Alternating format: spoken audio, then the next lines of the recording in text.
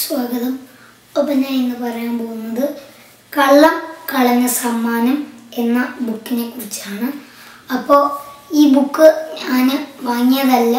എനിക്ക് ലൈബ്രറിയിൽ നിന്ന് ക്ലാസ് മാഷ് തന്നു ക്ലാസ് അടുത്തുള്ള ക്ലാസ്സിലെ മാഷ് ലൈബ്രറിയിൽ തന്ന് ലൈബ്രറിയിൽ തന്നതാണ്.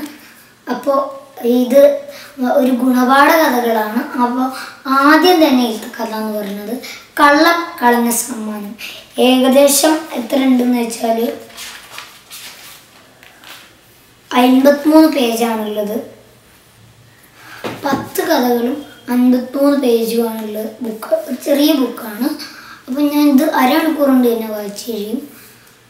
അപ്പോൾ പത്ത് പത്ത് കഥകളാണ് ഇതിലുള്ളത്. ആദ്യത്തെ കഥ കള്ളം കളഞ്ഞ സമ്മാനം. അതായത് ജോലി ഒരു കുഴി മടിയൻ ഉണ്ടായിരുന്നു.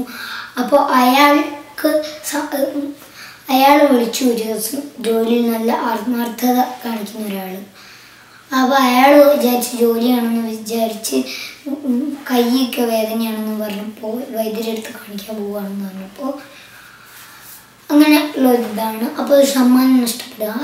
അത് നിങ്ങളൊന്ന് വായിച്ചു നോക്കുക. അപ്പോൾ പൂർണ പബ്ലിക്കേഷൻസ് കോഴിക്കോട് ഇറക്കിയ ബുക്കാണിത്. കഥയുടെ സാർത്ഥകമായ ഒരു സമാഹാരം തന്നെയാണ്. ഇത്.